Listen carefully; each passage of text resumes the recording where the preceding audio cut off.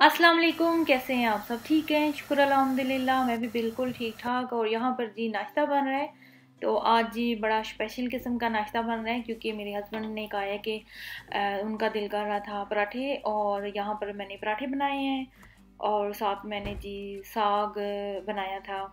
और ये मैंने कल साग बनाया था तो मैंने सोचा कि आज पराठे बना लूँ, क्योंकि काफ़ी दिल कर रहा था और इसलिए फिर बनाए हैं पराठे साथ। और अचार ये मैंने जो बनाया था तो इतना मज़े का ये अचार है और ये साग और साथ मैंने आलू की भुजिया बना ली थी और काफ़ी हैवी नाश्ता था और मज़े का। तो देसी जो नाश्ता होता है ना, साथ लस्सी भी थी साथ और मैंने चाय भी बना ली थी साथ। और काफ़ी मज़ा आया था नाश्ता करके और पाकिस्तान की जो याद है ना, वो ताज़ी हो गई थी। तो माशाल्लाह सबने खाया है, बड़ा अच्छा लग गया सबको।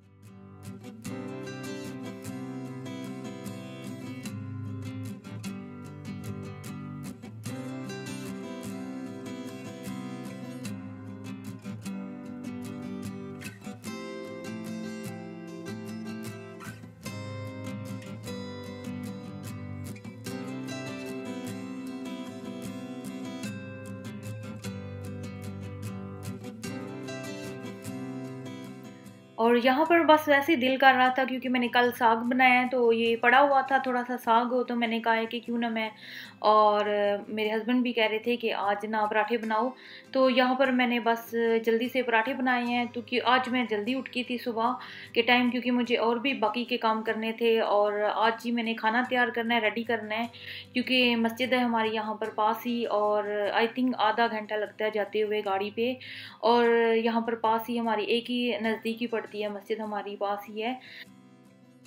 तो वहाँ पर ना काम कर रही हैं मस्जिद है हमारी तो नज़दीक ही एक ही पड़ती है तो आ, काम कर रहे हैं तो इसलिए फिर मैंने ना जल्दी से मेरे हस्बैंड ने कल बल्कि मुझे कहा था तो मैंने कहा है कि क्यों ना मैं जल्दी से क्योंकि जल्दी उठ जाऊँगी और नाश्ता भी बना दूँगी और जल्दी से फिर मैं काम भी कर लूँगी सारा।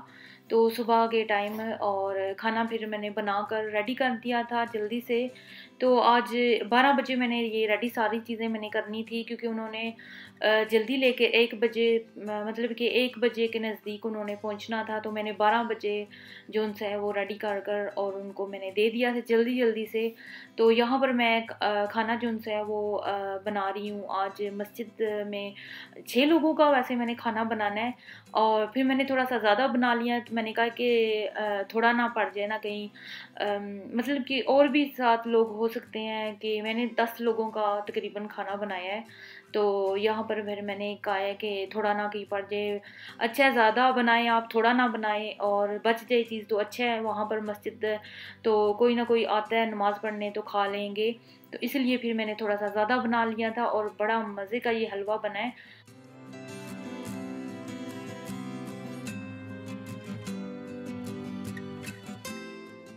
हंडिया भी मैंने चढ़ा दी है तो इसमें मैंने प्याज डाले हैं और तीन प्याज मैंने डाले हैं बारीक मैंने काट कर और मैंने इसको अच्छे तरीके से थोड़ी सी ब्राउन करूँगी, फिर मैंने इसमें अदरक और लहसुन का पेस्ट मैंने डालना है इसमें और मसाले मैं डालूँगी जो हमेशा मैं डालती हूँ तो यहाँ पर बस मसाले भी मेरे डल चुके हैं तो एक ही चम्मच मैंने हल्दी डाली है और दो चम्मच मैंने लाल पीसी मिर्च डाली है और गर्म मसाला पीसा और धनिया पाउडर और मैंने नमक डाला क्योंकि मैंने खाना थोड़ा सा ज़्यादा बनाना है तो उस हिसाब से मैंने मसाले डाले हैं।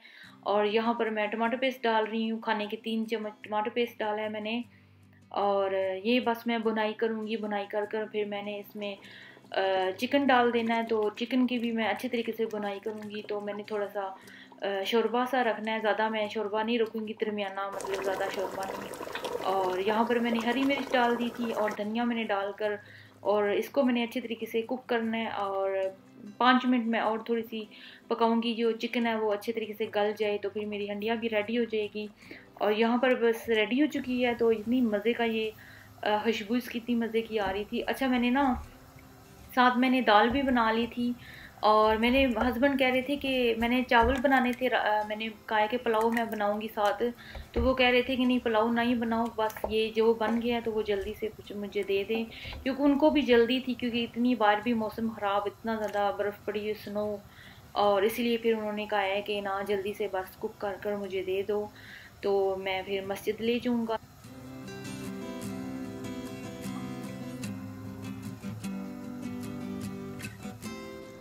अच्छा मैंने साथ ना दाल भी बना ली थी और, क्योंकि मेरे हस्बैंड कह रहे थे कि एक ही हंडिया बनानी है क्योंकि छः लोगों छः लोग हैं वहाँ पर काम कर रहे हैं। तो फिर मैंने कहा है कि, फिर मैंने ऐसी दाल भी बना ली, मैंने कहा है कि कहीं ना मतलब कि अच्छा लगता है कि थोड़ा एक और खाना होना चाहिए साथ और तो फिर मैंने जल्दी से फिर दाल बना ली और मैंने सैलड बना लिया साथ।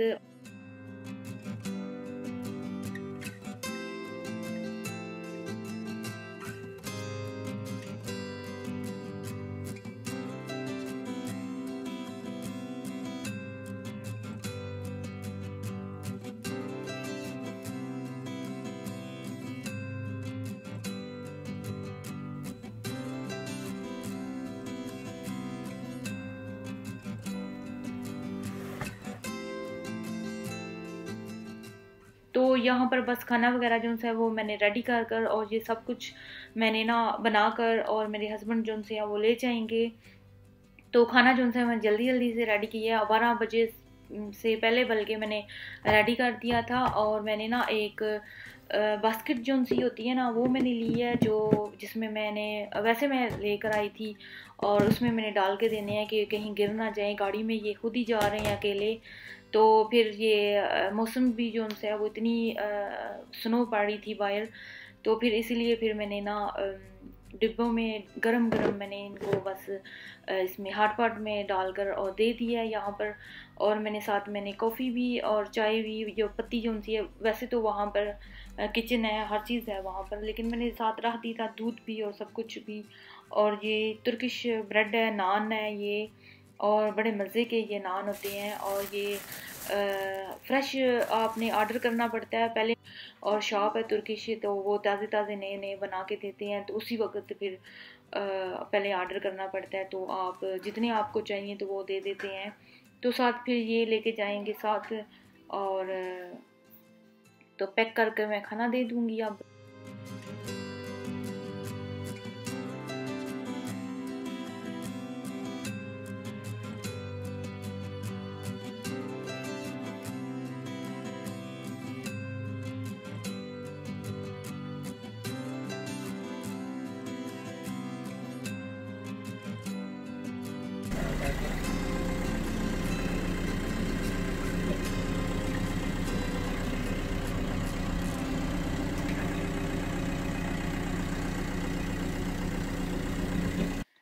अच्छा जी, हुआ ये था कि आज मैं आई थी स्टोन रूम वाली सफ़ाई करने और मैंने जो मशीन जो सी है वो चलाई है तो वो ना नीचे से पानी इतना ज़्यादा, जब मैंने उसको सर्फ वगैरह डालकर और मैंने कपड़े डालकर और इतना ज़्यादा पानी नीचे से जो उनसे है वो निकल रहा था तो फिर मैंने ऐसे किया कि मशीन को मैंने बंद कर दिया। मुझे पता था कि ये ख़राब हो चुकी है और एक दफ़ा हमने ऐसी मशीन हमने एक दफ़ा भी ली थी तो उसके साथ भी यही हुआ था लेकिन ये मशीन जो उनसे इतनी अच्छी जो मशीन है ना, और मुझे इतना दुख हुआ है इसका। और है भी मतलब कि इतनी पुरानी भी नहीं है, पाँच साल हुए हैं इसको। तो बड़ी अच्छी मशीन ये हमारी थी और इसकी गारंटी नहीं है, नहीं तो वापस कर कर और बंदा ठीक करवा ही लेता है। तो फिर अब ये करना पड़ेगा कि इतना ज़्यादा पानी नीचे से निकल आया और मैंने सारे कपड़े जो उनसे हैं, वो सारे मैंने आगे पीछे मशीन के रख दिए, क्योंकि जो पानी जो उनसे है, वो खुश्क भी तो करना था ना मैंने। तो और इतने धोने वाले मेरे कपड़े थे, पड़े हुए तो मैंने, वैसे तो मैं साथ ही साथ धो लेती हूँ, इतने ज़्यादा हो जाते हैं।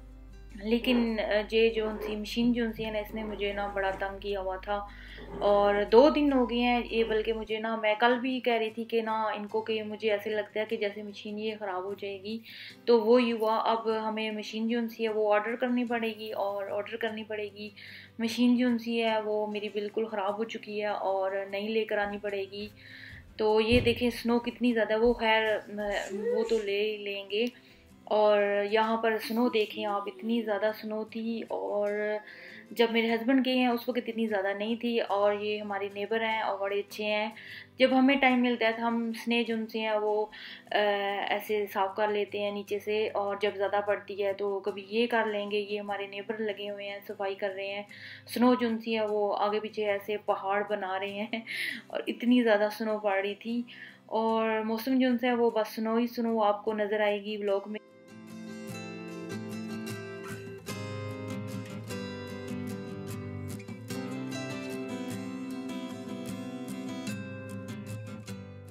और इसी के साथ मैं आपसे इजाज़त चाहूँगी। दुआओं में याद रखिए, खुश रहिए। थैंक यू सो मच आप सबका। और वीडियो अच्छी लगे तो लाइक कर दीजिएगा और दुआओं में याद रखिएगा। और थैंक यू सो मच आप सबका। अल्लाह हाफिज़।